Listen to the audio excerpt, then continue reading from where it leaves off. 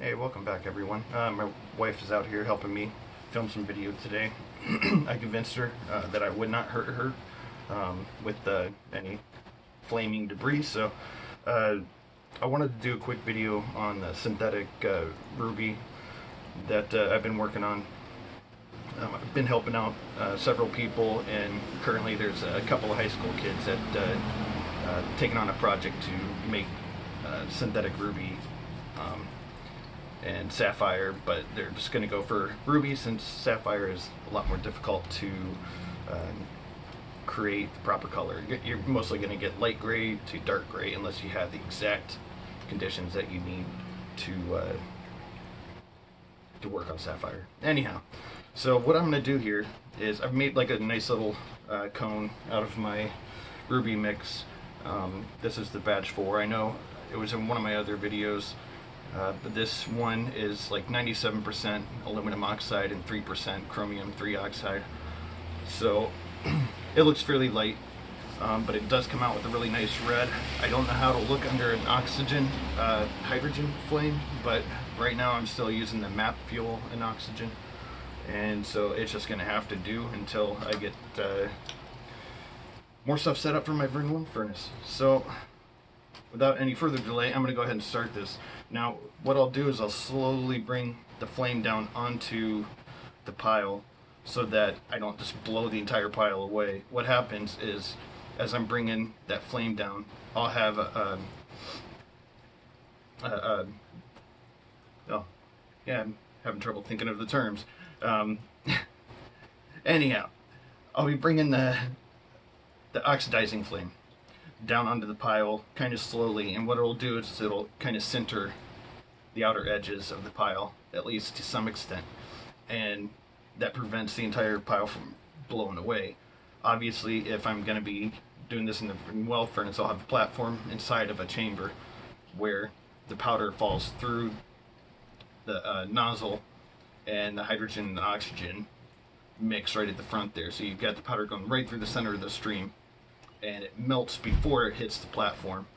And the platform is lowered while the flame stays in just the right spot on the boule that's forming to continue growing the crystal um, with as little bubbles or uh, inclusions as possible. So, anyhow, like I said, I'm going to go ahead and get started here. Um,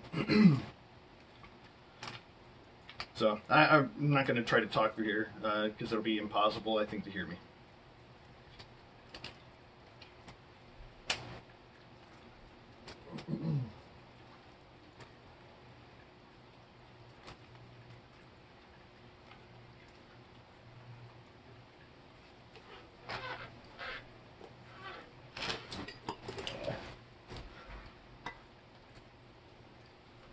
Takes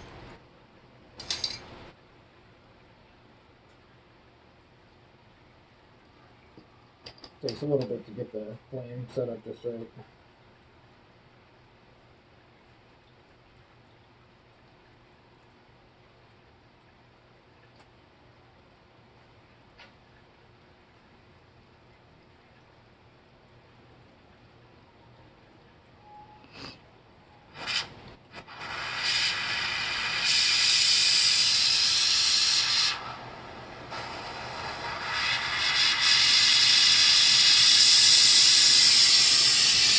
Oxidizing flame that I want.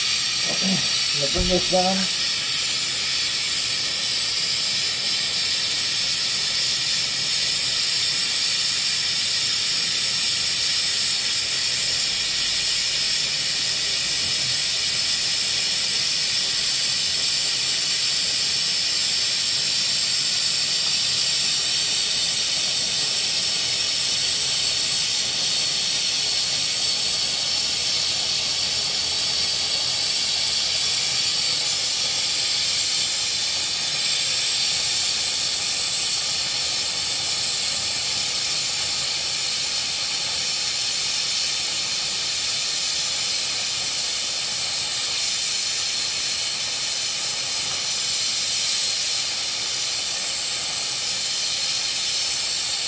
What's going on right now is I got the flame at least at uh, I got the pile in about a, a 2100 degrees Celsius area of the flame.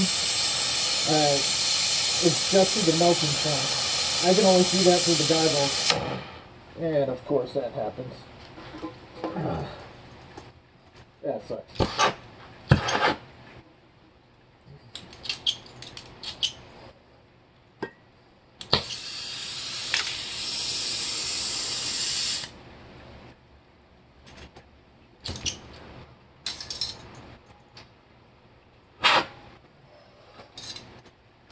So yeah, this pile of wood's coming along nice and good.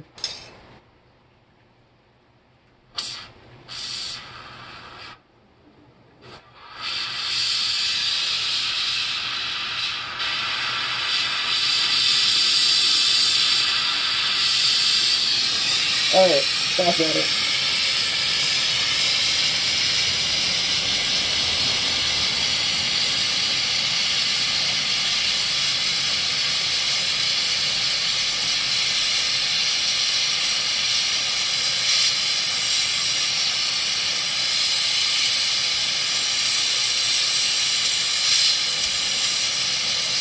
And for the sake of experimentation, this pile is at a reasonable point where I've got molten uh, oxide together forming uh, ruby material.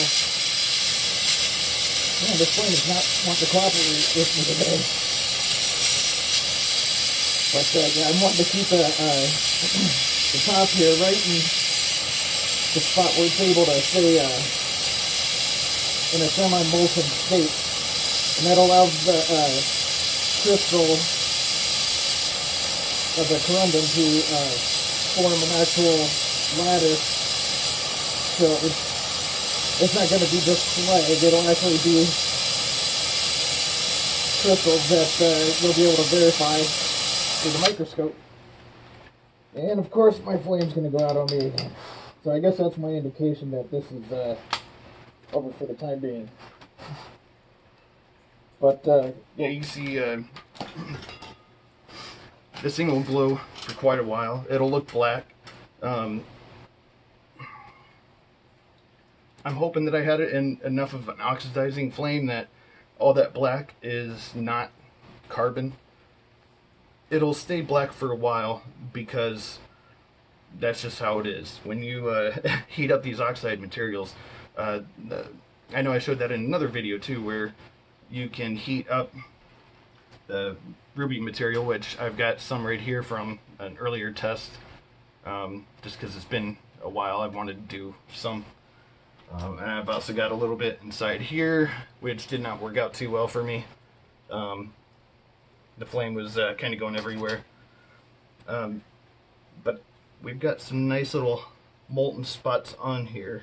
I was hoping to get more, but uh, that's good enough for now. And you can see how you don't see like the powder uh, a solid color of green. It, it looks more white. Uh, and the reason for that is the amount of time that I spent uh, homogenizing the mixture of uh, the aluminum oxide and the chromium 3 oxide. Some of my mixtures, you know, from the past, like if you do the 95% aluminum oxide and uh, 5% chromium 3 oxide, it's a lot more green. But here you can see it's a little bit of a green color, and it's a little bit more evident that it's got a green hue to it than this here that's been uh, heated up. So yeah, the reason for that is you know because it's the three percent and the mix is. I spent a lot of time mixing it. Um, if you put it under the microscope, you can't see like little green globs. Like you can sit there and mix it for a while by hand, and if you put it under the microscope or you heat it up, you're gonna end up finding really deep dark red spots. You know, also have like little green blobs where the chromium three oxide uh, it wasn't mixed up well enough, so it's basically a, a ball of semi-fused uh, chromium three oxide, and um, yeah. Anyhow, it's got quite a uh, while to go to cool down enough where you can see that red, but it should be at bare minimum. Yeah, let me see if I can pull that out without breaking it up too much. Yeah, and you can see it's actually a little more green. Yeah, and it's because it was under the pile, but as it uh, starts to fuse, you see how it lightens up.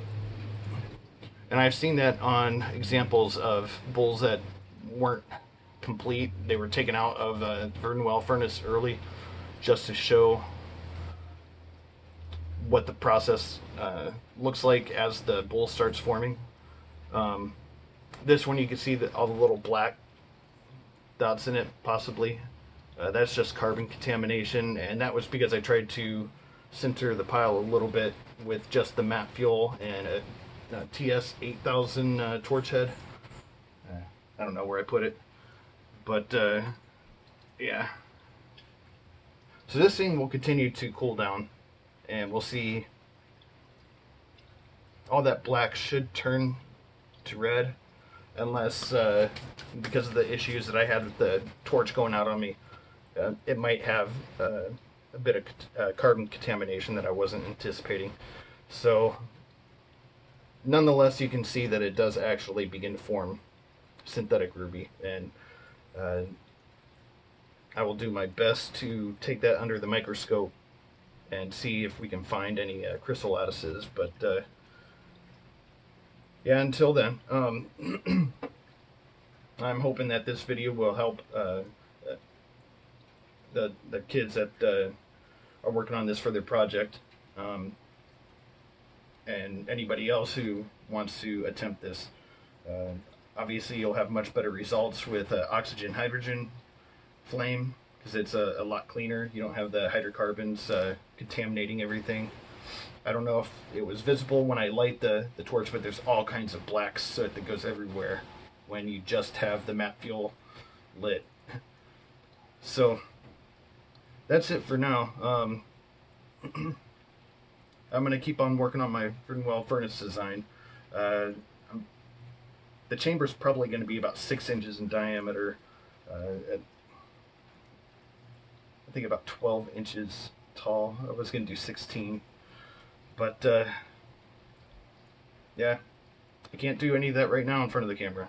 So, I appreciate you guys watching, and uh, I'll see you guys next time. Thanks for watching.